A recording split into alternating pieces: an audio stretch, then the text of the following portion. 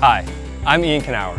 On Gourmet's Diary of a Foodie and Adventures with Ruth, I traveled the world in search of the best food.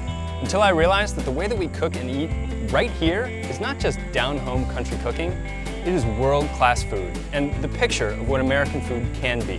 On my new series, The Farm, we raise, grow, hunt everything we eat. Join me and I'll show you how to cook it from scratch.